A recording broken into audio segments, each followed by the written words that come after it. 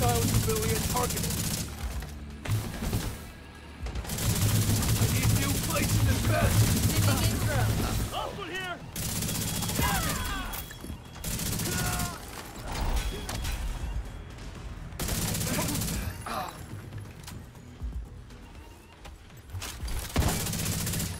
He's done.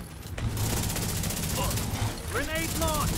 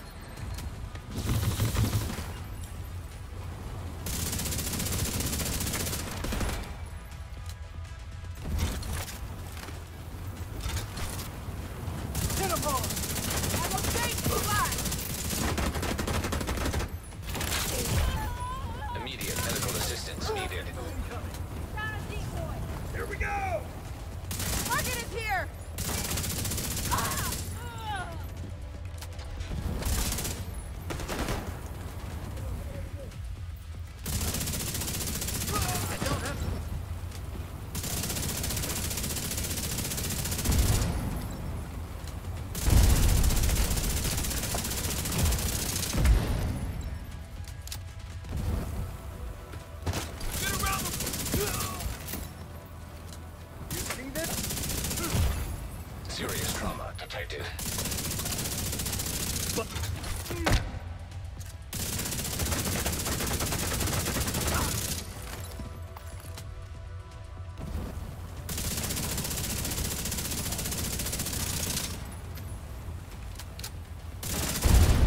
Terminal. EMP jammer detected nearby.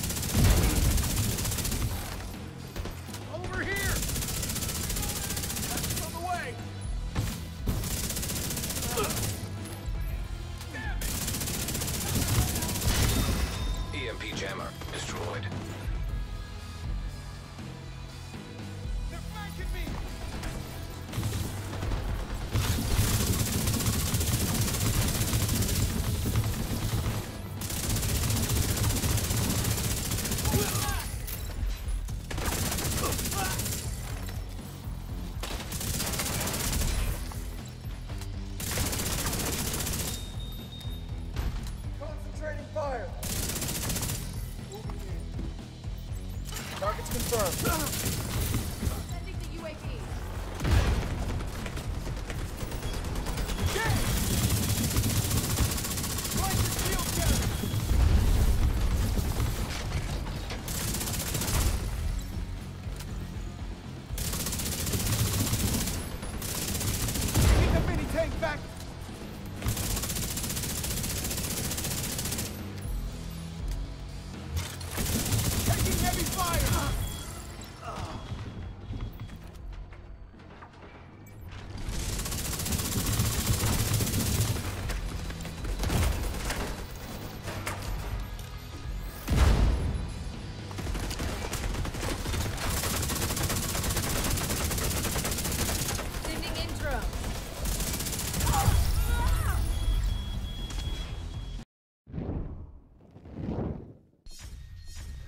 What's up agents, Patrick Wolf here. Welcome to another Division 2 build video. Today's video is going to be a solo chameleon build for all kinds of content, whether it be legendary, challenging or heroic. Now I wanted to make this build because the chameleon is a very popular weapon. It's very very powerful and especially using this build right here. Now I don't normally use the chameleon and I haven't made videos about it due to its lack of accuracy from longer ranges. When I use an AR, I like to make sure I'm hitting from long range. But I have catered to that and actually mitigated it through using close range talents and making sure we get up close and personal to the NPCs. So we're going to go through this now. You can solo Legendary Summit quite easily with this build. We have high armor regen, huge weapon damage with multiplications, and very high critical hit damage as well with maxed out crit shots. Uh, we also have a very strong defender drone, and I'm going to show you guys why in a second. The specialization I've opted for is Firewall due to its nice armor kit and strong shield that gives me weapon damage. You can use this build in a team or solo, but preferably solo with the way I've set this up. Now this will also give your teammates more damage. Make sure you guys do stack uh, assault rifle damage here. Don't forget, I always do that. You can use gunner specialization if you would like to have more armor on kill, or technician if you want to make your shield stronger. Artificer hive just has to be on your character and it will automatically send the drones to go and regen your shield. Uh, Demolitionist would be great if you are in a team and you want to use this with your teammates. We're not going to be using any other, well, I wouldn't recommend any other specializations, but it's completely up to you. Let's take a look at the build. So we can get our armor regen to just under 70k, about 68,000 armor regen, which will help us a lot to stay alive.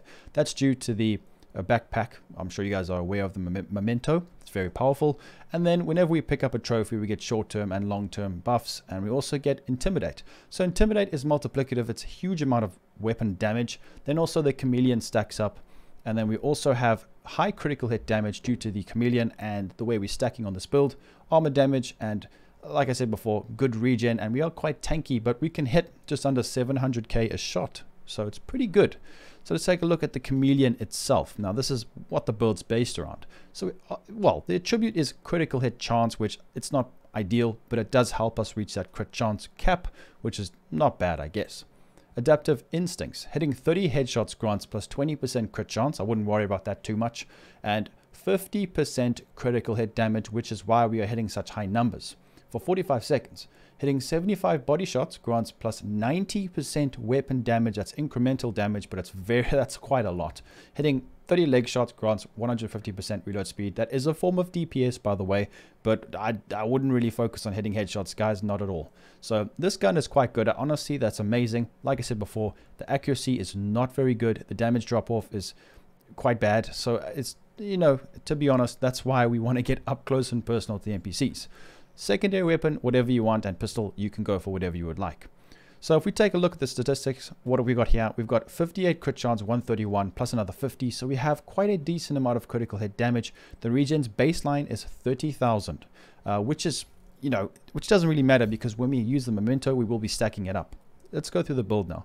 We've got two pieces which gives us armor regeneration, one armor damage, Fenris baseline assault rifle damage, and then some extra critical hit damage.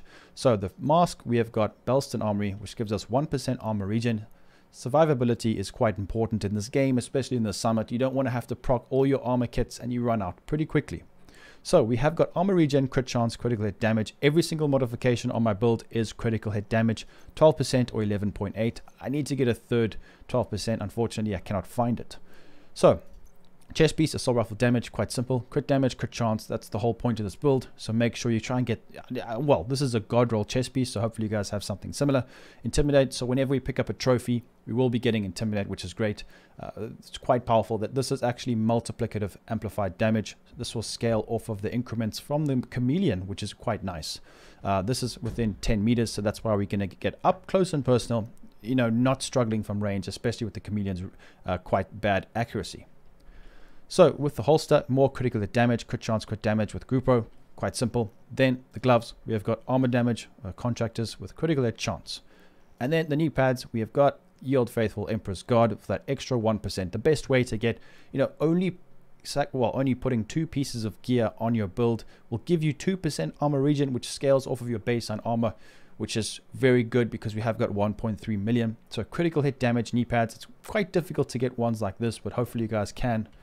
So we've got 1.3 million armor. That's up to you if you need more damage, go for that. But remember, the armor regen scales off of your armor value. So if I go 1.5, I will be tankier, way tankier, not only just tankier, but be able to su suppress more damage and regen a lot faster, which is nice, especially if you get put on the status effect. But that's completely up to you. you I would recommend if you want more damage, 1.1 mil. Don't go less than that though. And then if you want 1.5, that'll be great, but you will be doing quite a bit less damage. So let's go through the memento and how it works. Weapon damage, armor, and skill tier, which is great. That's going to help our drone and our shield. Kill confirmed. So I'm sure you guys know how this works. We get short-term buffs, weapon damage, bonus armor, which is going to proc, intimidate, and then skill efficiency. So we have got for every trophy collected, get an additional 1% weapon damage, up to 30%, which goes on top of all the other sources of weapon damage that we do have. Skill efficiency. Now, skill efficiency is quite important because that gives our defender drone and our shield a lot of health, which means they are a lot stronger. Up to 2 million health on our shield, and our drone can tank a lot more damage as well. So, armor regen, we will accumulate to about 3%. So that's 3, 4, that's 5% armor regen from this build. That's why I can reach those high numbers. So, that's how the build works. Let me know what you guys think in the comments down below. I will go through the statistics again. If you want to read through them, just pause the video and go through it. Uh, hopefully you did enjoy the gameplay. The last time I tried this build, I used well obliterate on the chest piece. It didn't really work that well. Uh, I feel like intimidate is the best way to utilize this. Maybe if you wanted to use a different AR from longer ranges, then that would work. So that's how I would change this up if you didn't want to use this gun. Maybe you wanted to use this build just normally. So just go for something else like the FAL or the G36, whatever you may want to use. The FAMAS is very good as well. And then what you could do, like I said before, is change out the chest piece talent and go for something like this Obliterate, which gives you more weapon damage as well. But obviously the way we have it here, this is the best option. So that being said, please make sure to leave a like, subscribe, and I'll be seeing everybody very soon in the next video. Peace out, guys.